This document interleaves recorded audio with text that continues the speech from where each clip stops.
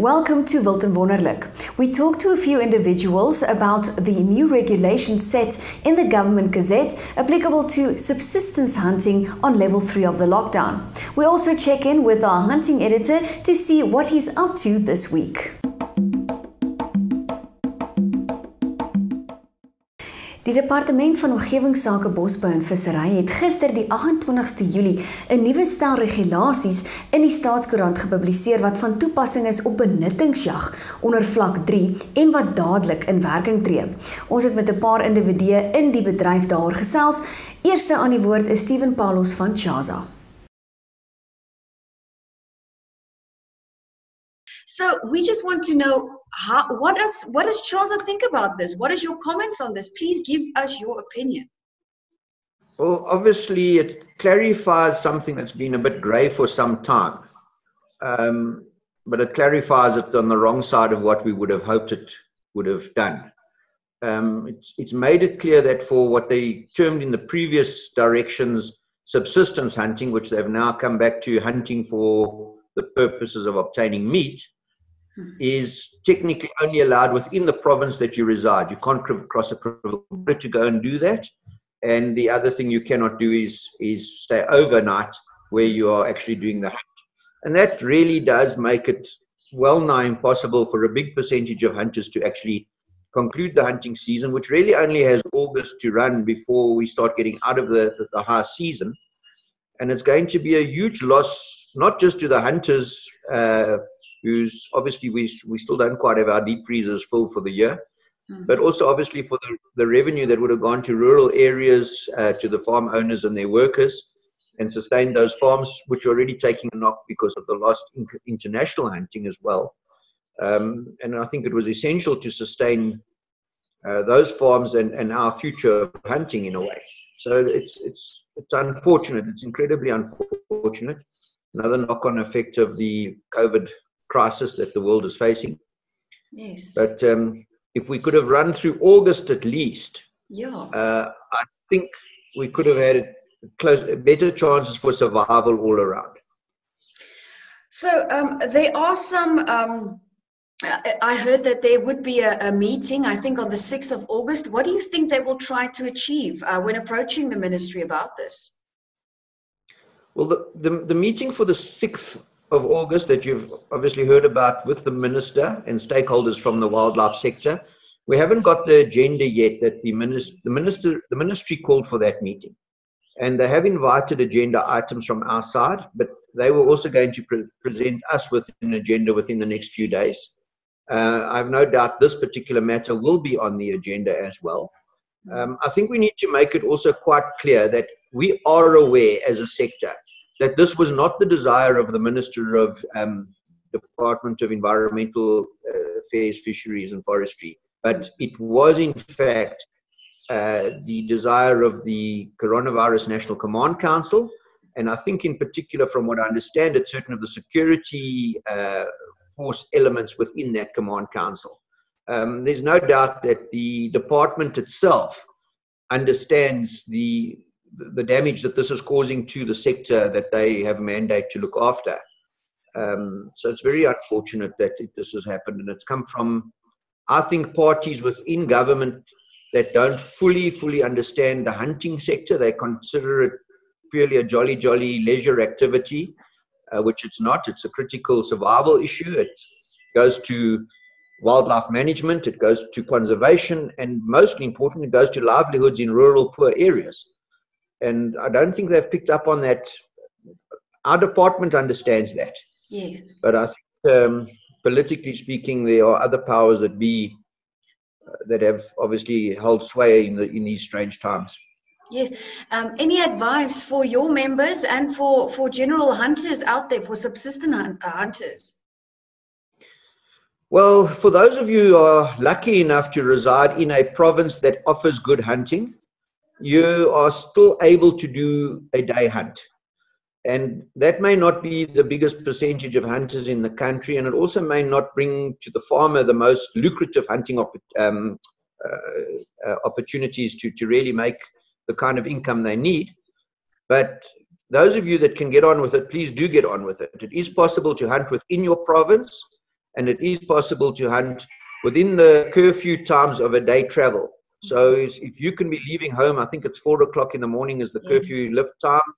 And if you can be home by nine o'clock at night and you can still get a day's hunting in, please go do that because first of all, it's always pleasant to be hunting, and secondly, the landowners and the farmers and the game farmers need that. Mhm. And that could include such things as wing shooting and other opportunities. Don't just think that it's about hunting for, for antelopes and the normal plains game. Yes. You can certainly squeeze in some hunting and, and keep yourself uh, keep some cheer in this in the space in these hard times. Stephen, thank for you. Thank living in the cities, it's a bit of a different scenario, of course. Yeah, we it's very, very kind of- difficult. Yeah. Um, Stephen, thank you. Thank you for your time. Thank you for talking to us today. Always a pleasure, Verona. Thank you. Thank you for the opportunity. Ons gesels nou met Krappies Els van Natshoot. Uh, Krappies baie baie dankie vir jou tyd. Dit plesier. Dit plesier. So. Dit is altyd lekker om met julle ouens te praat. So ons het nou natuurlik gehoor daar's nou gewysigde regulasies wat gister die 28ste Julie in die staatskoerant gepubliseer is en dit verbied nou reis oor provinsiale grense vir jagdoeleindes en dan natuurlik die voorsiening van akkommodasie vir jagters word ook nou nie toegelaat nie. Ons wil net bietjie hoor wat is Natshoot se mening oor hierdie hele situasie? Man, uit die aard van die saak eh, is is is is dit frustrasie dat, dat dat ons dit net vir mekaar sê. Ons het ek het destyds 'n ding geskryf oor onttrekkingssimptome uh, uh van jag en van skiet uh, ensovoorts ons onsself en al weer terug daarby. Uh daar was in die vorige regulasies wat uitgereik is in Junie verwysing na sogenaamde subsistence hunting. En dis al wat daar was. En ons het en die in die jagters het gebruik gemaak van die regulasies vir die toesluitregulasies wat betrekking het op toerisme. Uh uh en wat hulle nou gedoen het, lyk dit vir my is, is hulle het nou daai regulasies eintlik net 'n bietjie duideliker geskryf. En gesê uh uh, uh benuttingsjag is toelaatbaar, Ja. maar slegs binne die provinsie en jy mag nie oorbly nie. Nou nou dit dit, dit maak 'n bietjie van 'n gemors. Jy, jy weet die hoeveelheid kontak wat daar is tussen jagters uh, in die jagveld uh en so van is eintlik baie baie min. Uh dis dis op die, dis dis eintlik minder as wat jy sou kry by uh uh is die kompetisie. Uh, want die mense is minder en, en die kontak is minder en as ouens bewus is daarvan dan pas ons ook maar op, jy weet almal dra maar hulle maskers en goed. Ja. Maar dit lyk asof die mense in beheer hierdie ding nie verstaan en asof hulle konstant onder die indruk is dat jag is eintlik wat hulle noem recreational activity. Nou met met met benuttingsjag is daar uit die aard van die saak 'n bietjie van 'n beperking. Dit word baie moeilik om te verduidelik hoekom is mamma en boetie in die bakkie as ek gaan benuttingsjag doen. Jy weet so nou dit, dit is so baie baie vrouens jag en hulle help om vleis in te kry by die huis. En dan is dit nie moontlik om die kleintjies altyd by die huis te los nie. So daar's 'n goeie storie. Uh ons is besig van in in die van in die in die jagterskant uh gesamentlike jagterskant om te kyk of ons nie die, die, hierdie beginsel by die regering kan oorkry nie. Daar's blykbaar net een persoon op hierdie liggaam wat hulle noem net joints wat, wat jag sien as 'n recreational activity en en hy uh, uh, gooi nou elke keer 'n klip voor die wiel oor jag. Maar ek dink is baie belangrik dat ons vir mekaar sê dat ja, jag ons is gefrustreerd as gevolg van die jag. Maar daar's 'n baie groter ding agter hierdie ding en dit dit is is dat ons moet ons moet geld inkry in die platteland in by wildboere. Ja. Uh en, en ons moet in die plattelandse gemeenskappe geld inkry want dis hulle wat swaar kry. Uh, die, die ouens gaan om om om om daar te gaan jag uh, en, en dan bring hulle geld in die gemeenskap in. En die slegte ding van hierdie ding van gister is dat daar is regtig 'n klomp ouens wat vir hierdie naweek jagte bespreek het wat nou nie meer kan gaan nie.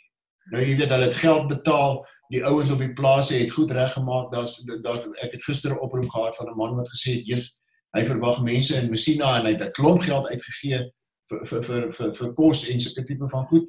So 'n klomp mense is ernstig en sleg finansiëel benadeel deur hierdie vinnige en drastiese uh, uh regulasie. Ons het om die waarheid te sê nie eers kennis gekry daarvan nie. Ons het dit maar toevallig net net gehoor.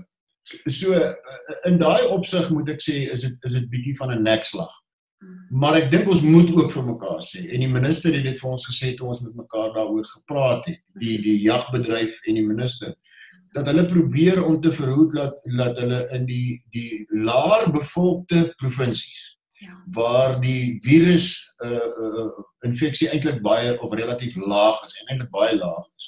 Ja. Poog hulle om te verhoed dat dat die virus na daai provinsies toe kom. En dit is een van die hoofredes hoekom hulle uh oor provinsiale grense uh, uh probeer keer.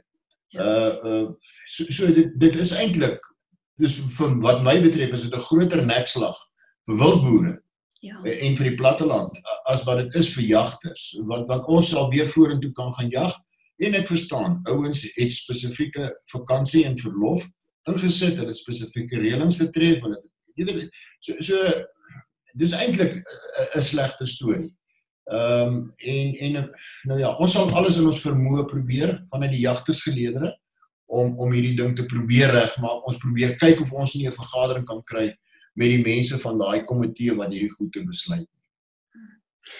Ja, en dit voel vir 'n mens dat hulle dit baie mo moeilik maak om wel te jag. Uh jy weet jy moet in jou provinsie bly. Jy moet tussen die tye van 4:00 die oggend tot 9:00 die aand moet jy probeer daardie jag inpas. En baie van ons jagters is nie noodwendig in 'n provinsie waar hulle kan jag nie. En ehm um, ja, enige advies dan nou verder dalk vir die Natshoot lede en vir jagters in in die geheel. Jong, uh, uh, my voorstel is is is is bly by die wet. Uh want al wat jy al wat jy doen is is jy benadeel jouself.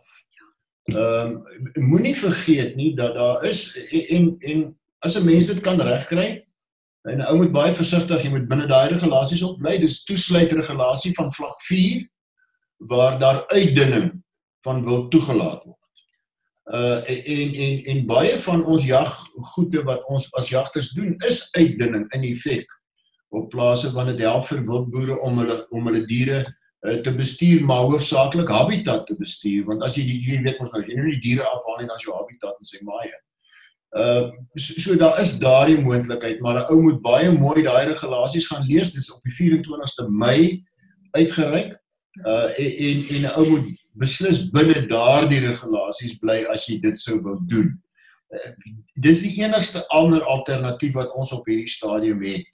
Ehm um, so ons vra maar net, jy weet, wees versigtig met hierdie dinge. Ou moet ou moet vir jouself besluite neem, maar ek weet nie of dit die moeite werd is om in die moeilikheid te kom oor so iets nie.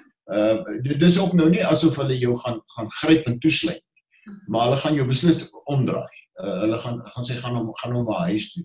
Ehm um, dit is ook so dat daar is wel jagplek in Gauteng. Uh maar nou daar's soveel plekke. Jy weet en en die en die groot hoeveelheid jagters in Suid-Afrika is maar in Gauteng want dis waar die bevolking is. Ja. En dis ook waar die geld is. Uh so dit bly baie moeilik uh, om te sê wat moet jy doen anders as om te sê dis dis regtig nie die moeite werd om in die moeilikheid te kom vir 'n rooi bok nie. Ek ek is baie eerlik en 'n ou moet ou moet maar daarna kyk en ek dink dis baie onaangenaam om teruggedraai te word in 'n padblokkade as jy nou lekker lus is om te gaan jag en, en nou moet jy omdraai. So soos alles uh, dink ek moet ons maar met hierdie ding saamleef. Uh, ek dink ook ehm um, ons ons ons is nie meer so so skerp op op die virus soos wat ons was nie. Ja.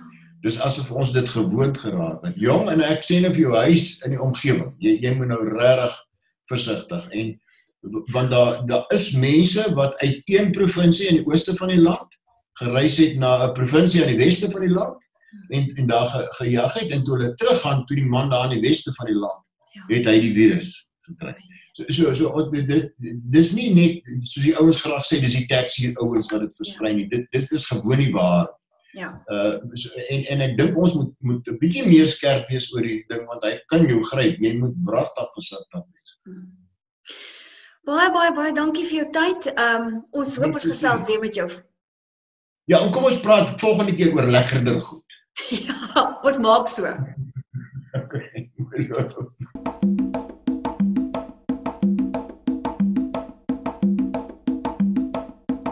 As always, our hunting editor Stefan Fouchier is on an adventure, and we check in on him to see what he's up to this week. Welkom by Wild en Wonderlik. Ehm um, Verona, ek saai vir jou uit. Ek kyk hier in Botswana in van hier waar ek staan. Ek staan by 'n baie goeie maat van Wild en Jag, toevallige maat van my ook van die vroeë 2000s af. Ons het mekaar aan die plattelandse dorpie van ont, uh, ontmoet. Geen bekendstelling nodig hier in die Bosveld nie. George Potgieter van Skoon Gesig. George, sonder om uit te lap, alles wat in die Oktober uitgawe gaan gaan gebeur wat ons hier reg gekry het op jou plaas. Sê gou vinnig vir die kykers waarmee ons besig.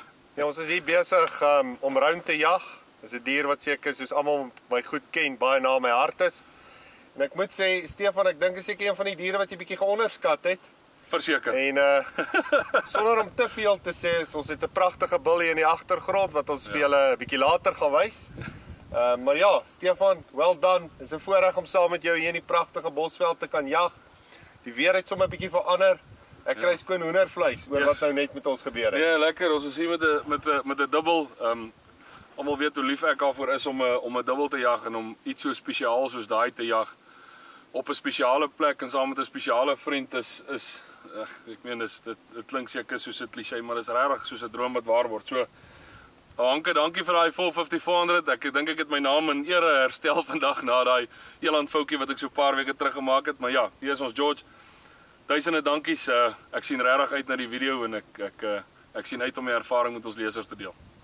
Ry, ons sien julle in die Oktober uitgawe.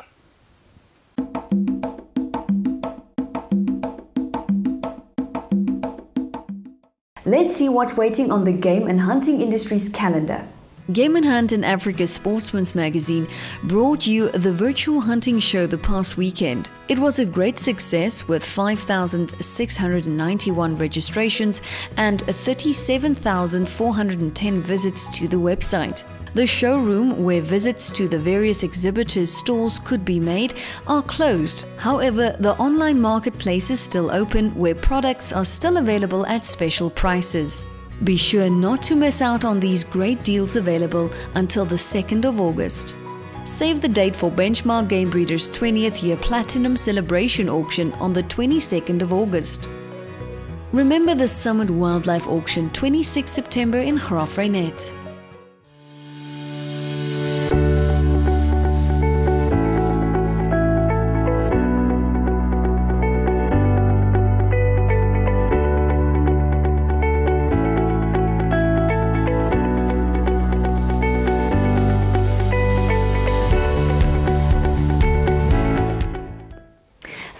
Watching.